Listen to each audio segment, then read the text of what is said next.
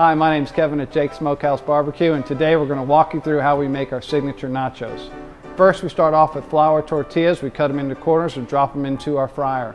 Once we get nice and crispy, we put them on a plate and put a small layer of cheese, a little barbecue chicken, little tomatoes, little jalapenos, and a little bit of our sweet sauce.